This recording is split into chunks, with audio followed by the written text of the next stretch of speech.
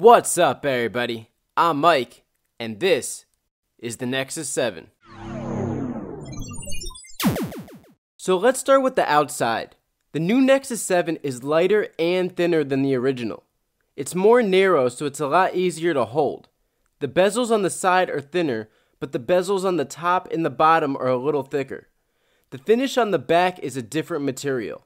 The original Nexus 7 had more of a leather material, where the new one is a matte black soft touch. I really like the way it feels. They also rotated the Nexus logo. The screen is the same size as the original, but this one packs a full 1080p display with a PPI of 323, which is the highest of any tablet right now. The viewing angles are amazing, and the color saturation isn't too warm, but it's not dull at all either. It looks incredible. One thing that I was really looking forward to is that the Nexus 7 has stereo speakers. Well, they aren't terrible, but they aren't anywhere close to the HTC One. Another problem is the location of them, on the back, and right in a spot where your hands are most likely going to be. I find myself covering a decent amount of the speakers often. Don't get me wrong, they are an improvement from last year's model, but not the improvement that I hoped for. One of the most pointless additions to this tablet was a camera on the back. Has a 5 megapixel camera and it sucks. I mean, you don't look as stupid taking pictures with a 7 inch tablet compared to a 10 inch, but still, it wasn't necessary and I'd never use it anyway because of how bad it is. There's grain pretty much in any lighting, and the coloring is just off. The front camera is a 1.2 megapixel.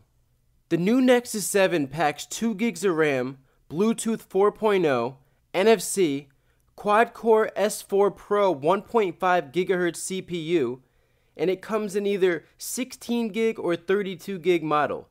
Also, it comes in either Wi Fi or an LTE model, and the LTE model will support T-Mobile, AT&T, and Verizon all in the same device. They dropped the battery down a little. It's a 3950 milliamp battery, and I've been using it for the past 2 weeks and I haven't really noticed a big difference. I usually don't have to charge it for a few days. One cool thing they added was wireless charging. It works perfectly with the Nexus 4 wireless charging orb. When it's on the charger, it's propped up and easy to use, and with the use of Daydream, it turns into a clock when not in use. This is the first device to be shipped with 4.3. So far, I haven't noticed any lag at all. Whether it's just normal use or intense gaming, this device handles it all without a problem.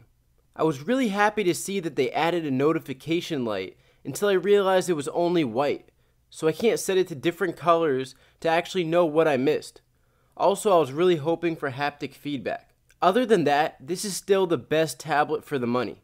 I think the screen alone makes the device worth buying.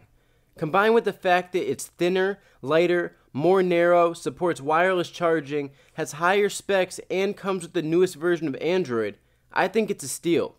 The only thing that Apple still has over Android is app selection. So if you're thinking about coming from an iPad, then check play.google.com and see if the apps you need are available. If this video helped you out at all, please leave a thumbs up and don't forget to subscribe so you know when I have a new video.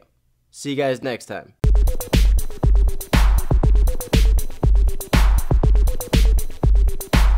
blah, blah.